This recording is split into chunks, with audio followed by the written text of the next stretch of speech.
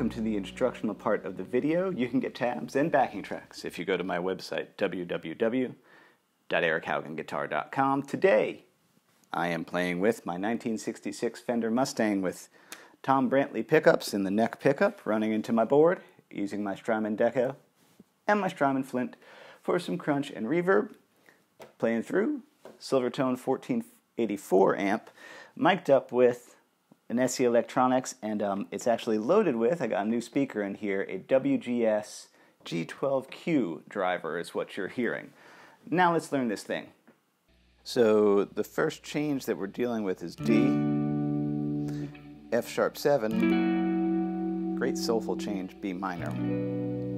So we start with sliding into that 5 of the A string, going up to 9, just an inversion there, just a pentatonic inversion. That is 9 on that A, 7 on the D. Now to get that F sharp, all I'm going to do is raise that 7 up to an 8. I'm going to keep that shape and sneak my pointer finger back to the um, 7 of the B to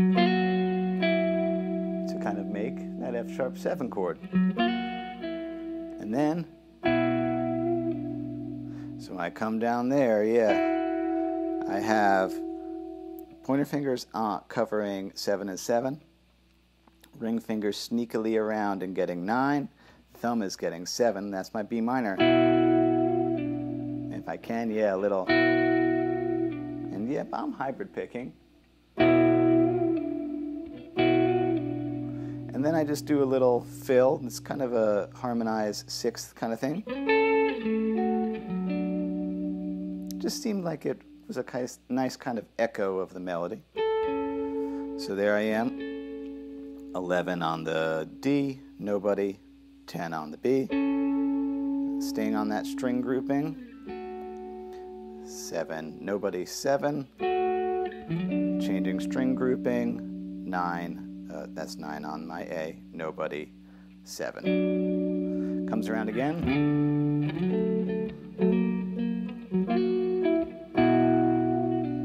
Notice I do get a little,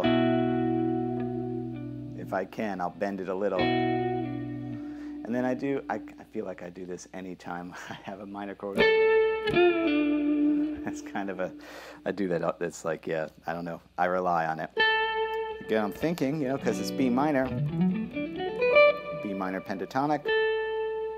I'm grabbing a 10 there on my B string, and then a little, little kind of tiny little pre-bend on that. Was that? 9 on my G to 7 And then, yeah. A little very classic Hendrix. That is, you know, on my A string, 7 to 9, 7 7. I think we got one more time through, yep. And then I kind of imitate that melody lower in harmonized sixths. So that's off of, you know, there's an F sharp 7 here, there's also an F sharp 7 here which is what I'm aiming for, that chord structure. Three on the G, nobody home. Four on the A. And now I'm four on the D, nobody home. Six on the low E, which gets me to the next B minor. An interesting B minor you can grab there. That is seven, uh, nobody home one, uh, sorry, not seven, uh, seven, nobody home, four, pinky gets out, because that's uh, Patrick's vocal melody note up there. The pinky is on the seven of the G. That's just the tiniest portion of an A chord. And yep, that's, you know, I put a classic, you know, Wind Cries Mary fill right there. So let's see.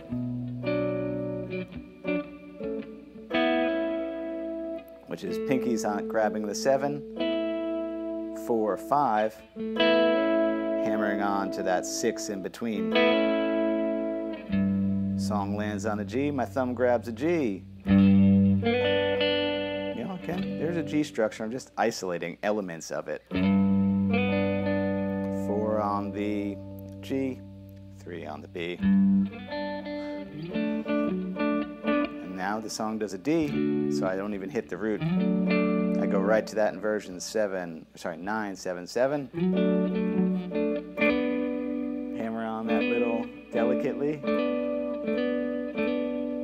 Uh, seven hammers to nine, but that upper seven stays a seven.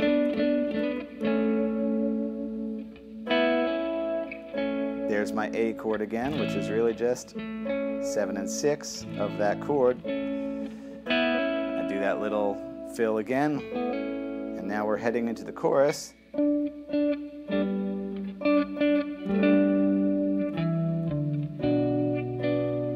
like the way that came out. So you do pickup notes. Uh, we're at seven, and I'm already barred because I know what's about to happen. So I'm covering 777, but I'm only playing 7 on the G string. Because there's my G chord 10, 9, 7. And then I do a little walk out. Yep, so good thing I'm barred because I'm going 10, 7, 10. Here comes a B minor. You know, there's the structure. Yeah, I am hybrid picking. I'm getting 7 and 7 up here with the 7 down there on the low one, so 7 and 7 on the G and the B. Mm-hmm. And then it's going to go to a D. So I do actually like, okay, there's my D. And I, I'm pretty sure Sloan are all excellent harmonizers, but it sounds like to me Patrick is harmonizing with himself on this song. So I tag it. So that is, here I am, I'm going to be on the G and the B strings this whole time. 6 5, 7 7, 6 5, 4 3, 4 3 again, 2 2. And then one lonely 2 there, and it, I, as I come around and get the 3 and the 4, I, my thumb comes around, hybrid picking to get that neat harmony. G chord, let that kind of two and two hit against it. Here comes an F sharp chord. Yep, so that's just the inner part of that, of a standard F sharp chord. So yeah, I'm getting the, the four and the three there, and then the three and the two. It's gonna go do a B minor. There's B minor, three and two. You just back it off to two and zero and back to three and two. And then I did this cool kind of,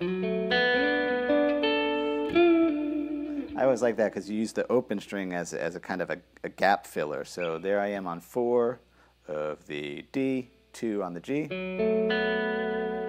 zero on that B. While that's ringing, yeah, you go up to this B minor, which is seven, nine, seven. There's that 10, and then you know me, I like to go. Always do it. Uh, and that's just, yeah, that same lick from before. Uh, 9 goes up a little bit, out, 7. And then, you know, you got a whole another chorus. I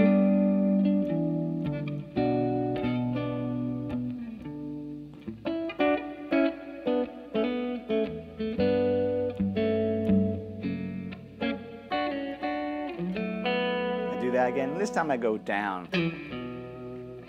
Still just playing around with minor pentatonic against a B minor chord, you know, which is just 4, 2, 0, landing on that too. And then Patrick takes a tasty little solo, so I transcribe that too. He doesn't play that 5, but I do. His first lick, I like that. I like that a lot. So here I am kind of playing out this B minor pentatonic-ish seven. This is neat. Oh, sorry, nine, seven, eight.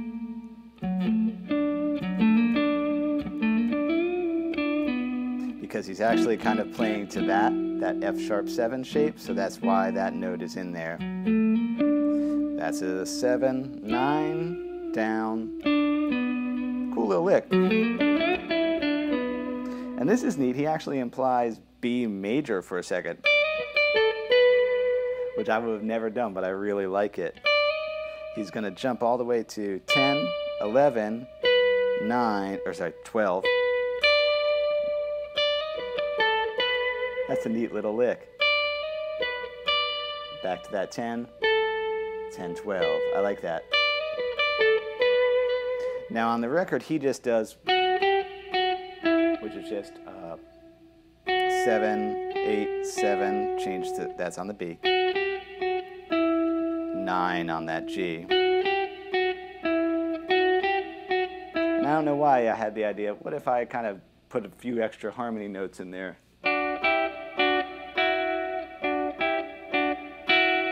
I kind of like how it came out, so that's what I did. So I'm flat on the 7 to 7, and then I'm coming in 9, 8. And when I come back, though, I do a weird thing uh, uh, a 7 and a 9 there. Just do it twice. And then there's like a cool little Mark Knopfler, which is, yeah, we're kind of backing up, playing kind of out of one of those in between pentatonic or minor structures. So I'm gonna, I'm on my G, I'm gonna bend that six up. My pinky's gonna get the seven of the B. It's a little bend, it's only one fret. I'm gonna walk my way out of it. Two, four, two. And then here I come with some sixes to kind of do a little tag. Five on the A, nobody home four. Four, nobody home two. There's my F sharp. Uh, that's six, nobody home four. Four, nobody home three. Again, it's still just playing out of that. And then the final thing, little parallel fourths. Four on the D and the G.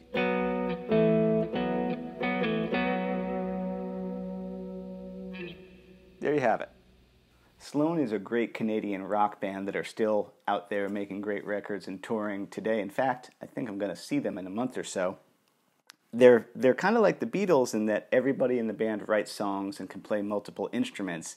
And similar to the Beatles, their songs all complement each other so well. It goes from one of Andrew's songs to one of Jay's songs to one of Chris's songs, and they just flow together well. Um, this is one of Patrick's songs. It's on the end of what might be my favorite record by them, Navy Blues.